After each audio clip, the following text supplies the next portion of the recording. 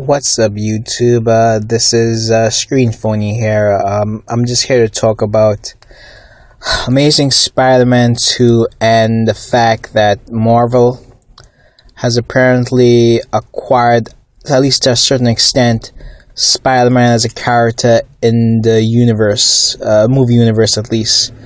So he will probably be appearing in uh, Marvel's uh, Cap 3 or Civil War, whatever the heck it's going to be called um, I'm a bit torn on this, but I'm shocked going through like message boards and hearing fans talk.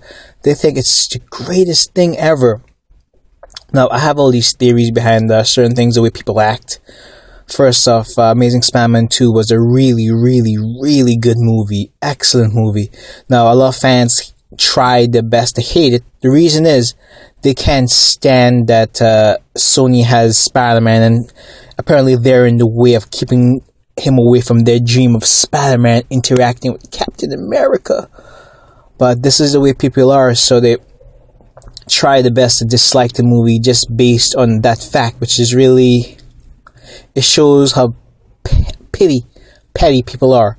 Um, and then not pity, the petty, yeah. So, their whole concept of of the news about uh, in the Marvel universe was like, yeah, bravo, bravo. Sony did a terrible job. Sony basically made two excellent Spider-Man, Spider-Man movies. Then Spider-Man 3 came along and it was horrendous.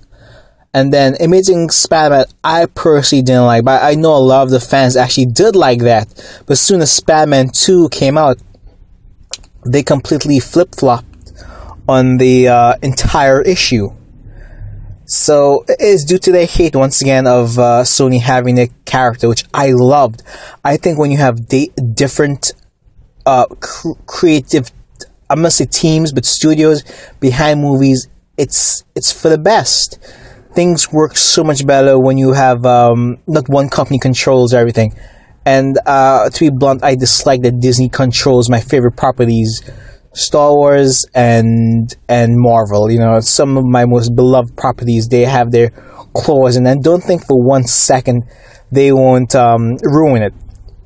I, I, was talking about uh, with my buddies of mine about uh, Star Wars, about how it was saved before the prequels. T- basically, uh, 20 years it was saved from being ruined, kind of like Star Trek. Star Trek basically got run to the ground with some seriously bad movies but Star Wars was for the most part saved from uh, too many uh, sequels and being saturated by uh, poor films until Disney gets a license, and Disney will run that in the ground like they will run Marvel into the ground. You know, everything you hear about Disney, they dislike uh, any company having Marvel properties such as the Fantastic Four and uh, obviously Spider Man and X Men, and I'm a big action figure collector, by the way. And it, you basically every X Men movie since First Class, there's been zero action figures being made, and it, you know it, it's it's but to do it to hopefully fans put pressure on Fox in some way which Fox wouldn't care. They won't. They won't give up the X Men unless there's a horrendous amount of money being tossed their way. But uh, I, every little thing that uh, Disney does is to punish the fans. But I noticed the fans kind of they blame Fox, which is insane. Fox actually made some great X Men movies. Yes, there was uh, Wolverine X Men Origins, and there was uh, that X three, you know, the awful Last Stand but they've been pretty solid. You know, while while Marvel itself was floundering uh, poorly, Fox was actually uh, making some pretty good movies with uh, X Men One, X Men Two. Although I'm not particularly a fan of X Men One, X Men Two, but people really do love those movies. You know. But uh, back to the Spider-Man now. It's just it's it's wrong. You know, it's wrong that first they're going to get rid of Garfield, who did an excellent job in Amazing Spider-Man Two but fans are so enamored with having uh, Spider-Man in that uh, whole Civil War nonsense. They're, they're, fake fans, trust me. There is no, like, to say there's no real comic book fans, but a lot of fans now are what I call fake comic book fans.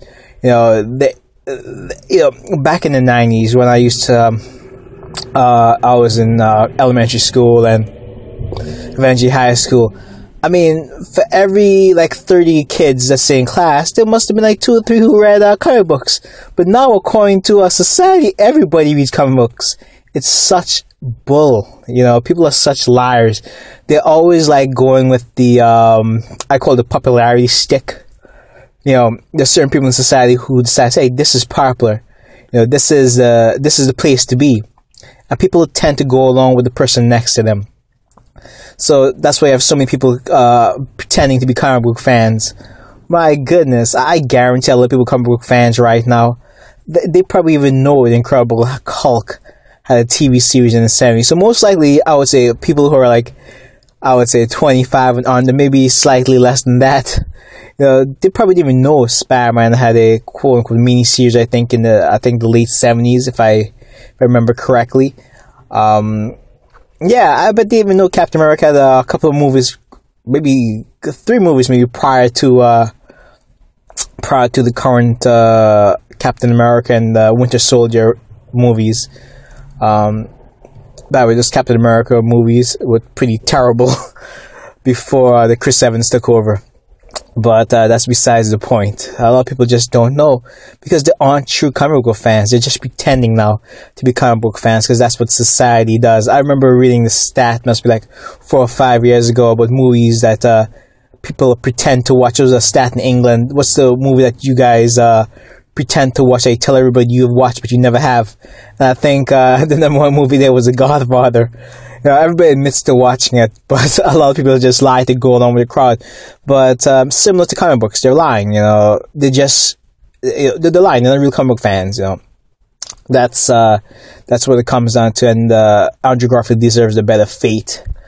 Unfortunately, he's going to get shafted, and it's not his fault. A lot of it is Disney. A lot of it is actually the fans, the fans who aren't real comic book fans are pretending to uh, like comic books, which is uh, a joke, by the way, a joke. But basically, you want different companies having having access to to comic book franchises. You know, it's great.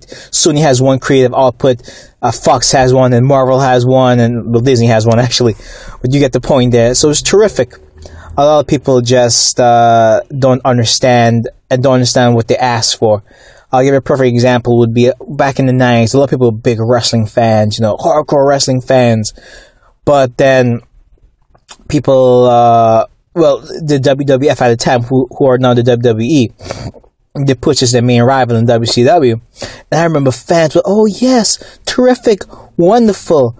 But it wasn't wonderful. You know, the industry shrank tremendously. It was actually terrible for one basic company to control everything and that's what really occurred. And that's what I think will happen with the uh, eventually will happen to Star Wars and eventually happen to uh, the Marvel property. So it's uh, sad that uh, people don't seem to understand the concept or they care about this. Oh, Spider-Man is in the uh, Captain America universe and they can hang out together, be best bud, drink some beers, you know, but they aren't they don't know what they ask for. That's what it comes down to. And uh, people hate when you tell them stuff about being phonies. They hate it. They'll hate you for saying it. They'll hate me for saying it. But it's true. What people have to do is uh, listen to what somebody says and think about it. If you think about it, you'll actually, um, you might agree with me. You know, maybe you won't, maybe you will, but it's better to, um, when somebody says something, never throw it away. Always think, could it be true? Could it be true? Don't automatically dismiss anything. Alright, that's my little rant and my little comment about uh, Spidey in the Marvel Universe, movie wise, and Garfield will be shafted, and the fans, uh, fake fans, they just don't understand, uh, understand what they wish for um, that's it. Uh, hope you guys uh, give me a thumbs up, uh, subscribe, share. Hopefully you learned something. and if there's any criticism, please uh, write it. You know, I like criticism. Helps me become a better person, become a better speaker, a better writer. Thank you. Bye.